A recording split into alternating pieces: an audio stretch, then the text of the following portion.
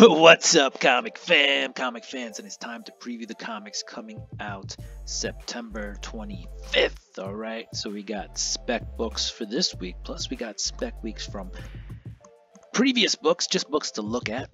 And then we got the spotlight books, we got the final order cutoff books for next week. All right, make sure you have those orders in by Monday the 30th.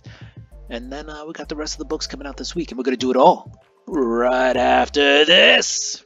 Spartans! What is your profession?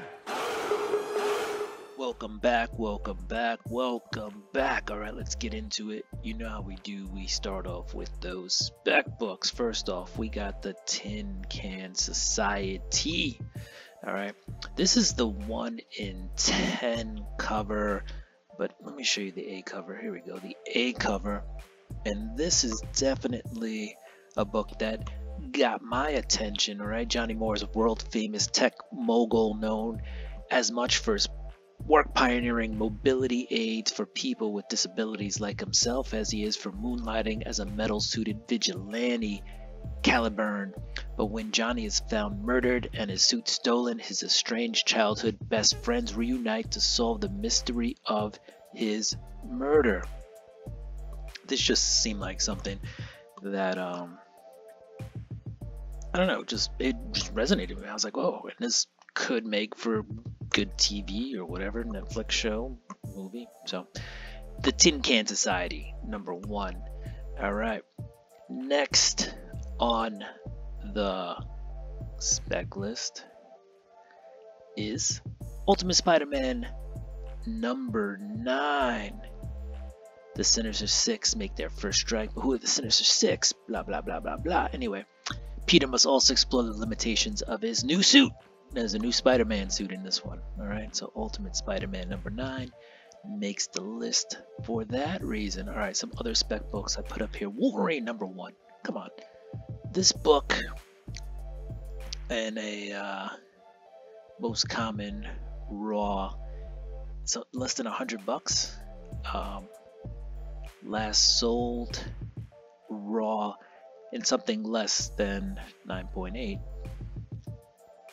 $79 or 9.6 150 bucks was the last sale on August 6th um, and then 9.8 are going for 251 bucks.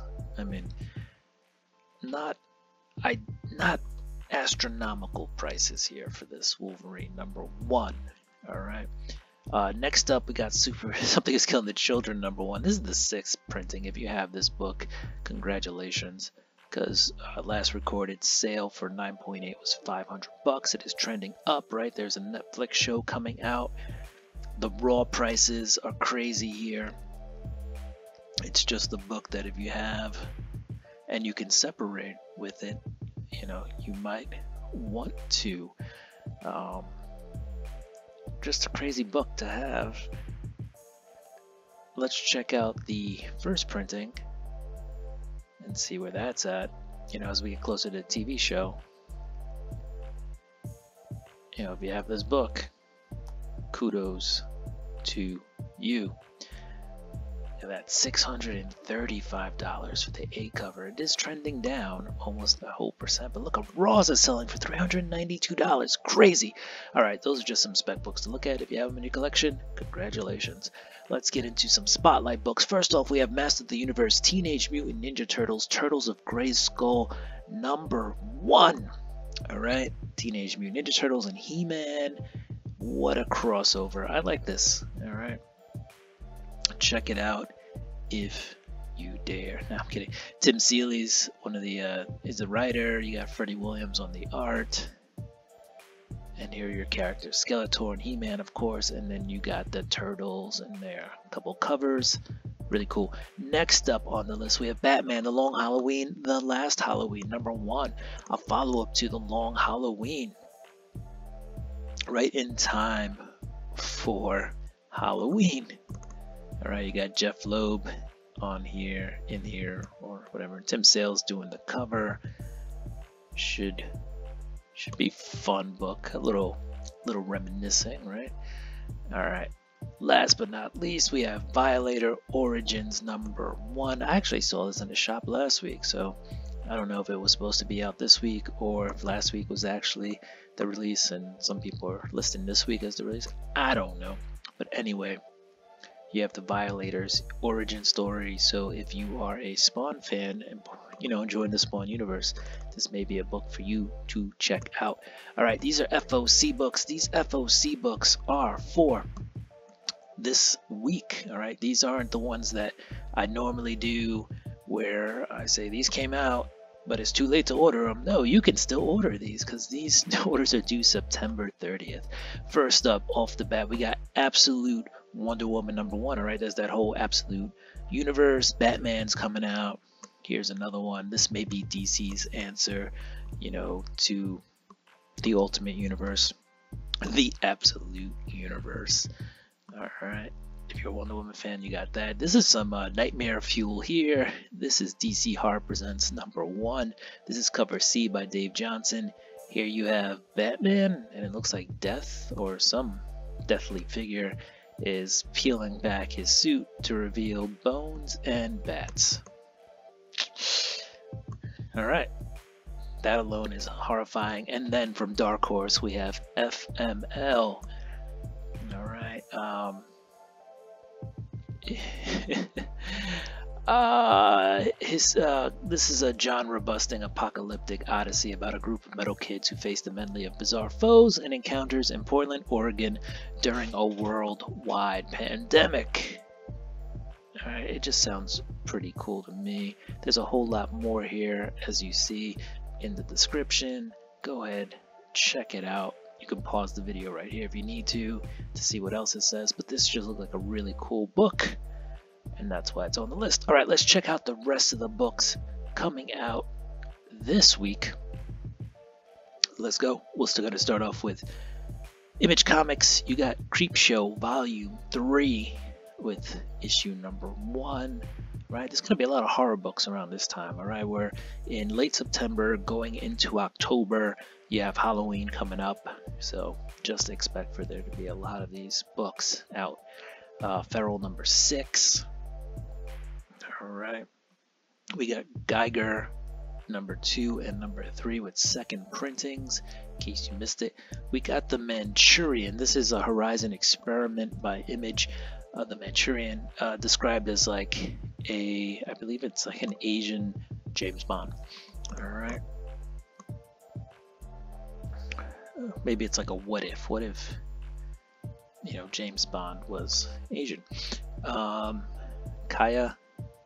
We have Knights versus Samurai. There is a cover C, which is the Todd McFarlane cover. If you're a Todd McFarlane cover, uh, cover. if you're a Todd McFarlane fan, here you go. There's a chance for you to pick that up. The Moon is Following Us. Cover B will be coming out. Cover A came out last week. So that's interesting how they're uh, staggering the covers. Very interesting. Um, Power Fantasy number one gets a third printing. Plastic Death and Dolls is on the penultimate issue with issue 4 of 5. Pure Evil is on issue number 6 of 6, so that'll be coming to an end. Redcoat number 1 gets a fourth printing. Remote Space is on his final issue with issue number 4. Alright, Exodus, Rook Exodus, which is a really good story, gets a third printing of issues number 2 and 3. Saga's on issue number 69. Spawn kills everybody, or every spawn is on issue number 3. Rat City is on issue number six. You know, some of these books I do feel like already came out. I'm sorry, I had to scroll to the top to make sure I was on the right week. Um, what else do we have? The Violator book. Frankenstein is on issue number two of four. Violet Flowers is on issue number one. Maria Llovet and now we're off to boom. Here comes the boom. Ready or not. What do we got from boom? Boom, boom, boom. Hello Darkness number three. A Little anthology book there. I believe there is a story, uh, something is killing the children's story in there. There's a Jenny Frison cover if you're a Jenny Frison fan. You got some Mighty Morphin Power Rangers, Usagi, Yojimbo, and uh, we're gonna keep moving. We're at Titan Comics now. Whoa, just tried to skip Titan. Sorry about that. what do you have coming out of Titan? There's Conan the Barbarian. People have really been into that. Uh, Blade Runner Tokyo for you Blade Runner fans. Doctor Who, the 15th Doctor, is on issue number 3 of 4. Alright, and uh, we're off to the next. There is a Star Trek Explorer magazine, too, by the way. If you're a Star Trek fan, there's some uh, Dark Horse Comics, Mass Effect, and Rebel Moon figures. I don't know why they're in the comic section, but that's all good. DC Comics. Alright, um, Absolute Power Origins coming to an end as Absolute Power is pretty much coming to an end. You got Task Force, issue number 7 of 7 as well. Um, what else? Action Comics is on issue number 1069. Not crossing over into Absolute Power, but deciding to tell like old Superman stories, right? Um, where are we? What else have we got? Oh, Batman Dark Ages is on the last issue. There's, there is a Bill Sienkiewicz cover, if you're a Bill Sienkiewicz fan. Um, Batman Long Halloween, Last Halloween is also out. A couple of covers there. Right, right. Lots of Batman, actually. You got Batman Brave and the Bold. You got Detective Comics. Alright, there is some Flash, some Green Arrow. What else? Harley Quinn on issue number 43. Lobo cancellation special. This is a one shot. They have a polybag um, version of it. Looks like, you know, it's going to be a little raunchy up in there. Power Girl is on issue number 13. Titans, issue number 15. You got Zatanna with the penultimate issue of issue number 4 or 5. And then we're off to Marvel Comics. What do we have coming out of Marvel? Amazing Spider Man number 58. A lot of covers for that. There always seem to be a lot of ASM covers. Avengers Annual number 1 there is a Marvel Studios Thanos cover if you like those kind of covers. Let's see. Daredevil Woman Without Fears on the penultimate issue, issue 3 of 4. What else? This Deadpool comic if you like Deadpool. Deadpool team up. And NYX is on issue number three. If you enjoyed that, Moon Knight, Phase of the Moon Knight number two introduces a new Moon Knight um, from the future. Let me just add that. All right.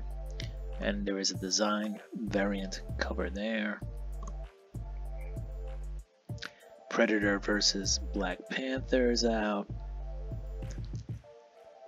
those are interesting stories. You know, if you ever wondered how Predator or even Alien would do against a Marvel superhero, now Marvel has the means to tell that. We have Ultimate Spider-Man number nine. All right, we talked about Spider-Man having a new suit in that that series.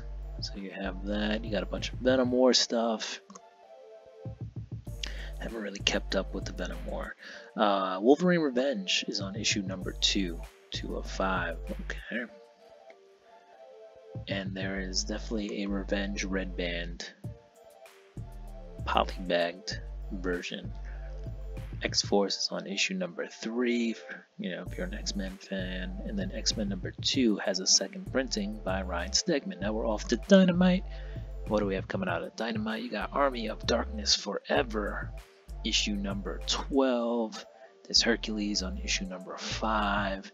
Jonny Quest as an issue number two cover V limited for 50 bucks. Damn. Lilo and Stitch is on issue number five. Red Sonja is on issue number 14. Again, we're at Dynamite. Thundercats number 8 introduces a new Thundercat to the fold. First appearance in there. And now we're going to look at the rest of the comics coming out this week from all the other publishers. Anansi Boys is on issue number 4. You got Archie Jumbo Comics. You know there's a lot of Archie fans out there. As we scroll along, guys, you could have been anywhere in the world, but you're here with me. I appreciate that. I stole that from Jay Z. You got Black, White, and Bloodshot, number one right? Those theme books where it's three colors or two shades in a color, right? Black and white, and then boom, they throw in some red. What else do we have? If I miss any books too, feel free to throw it in the comment section. Let me know what I missed. There's some Dick Tracy if you're a Dick Tracy fan. Final Fight number two, right? The video game action. Florida Man is on issue number three. Got some Grimm Fairy Tale books in there out of Zenescope. Zenescope is always in New York Comic Con. Let's see again, I'm, I'm just quickly looking through these books, but if you see anything that I missed, throw it in the comments. Let me know. There is a Lady Death, Demonic Omens, number one of two. Alright. Lady Death usually appears on the previews site. Just pumping out Lady Death books. Lilith, number one, Black Bag. what else do we have? Magic Order number one. This is the fifth volume. I've only read like the first two, but Magic Order has been, uh, it's a really good, it's a fun book by Mark Millar. Master of the Universe TMNT, Turtles of Grayskull. Nice little crossover there. Right, and we're in the M's now, so you obviously have My Little Pony for you pony fans. But we're getting there, guys. Getting there. Thank you for staying if you've been here this long. Nightclub 2 is on issue number 2. We are making our way towards the end. Yes, yes, we are. A lot of comics coming out.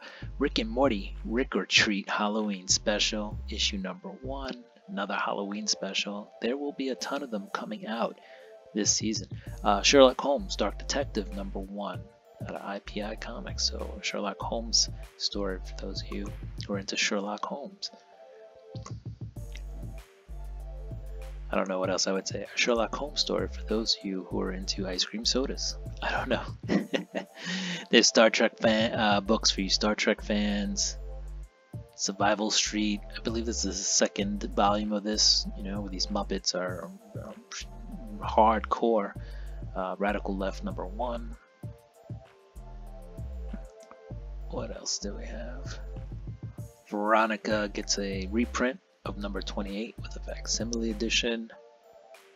Apparently, that, book, the original one, just kind of um, got really popular on the internet for some reason. So it's on the secondary market. And guys, that is it. We are at the end. Those were the books coming out this week.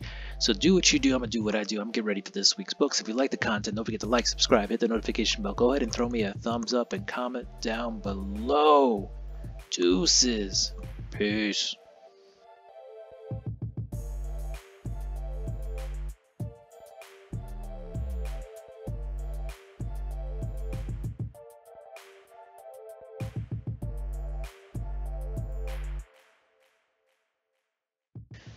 So Gotham by yeah, uh, Best Man number one. I actually got that last week, or Man's Best, not Best Man. Man's Best number one. So I'm not sure why that is loaded up here. Oh, you know why? Because we're on the wrong week.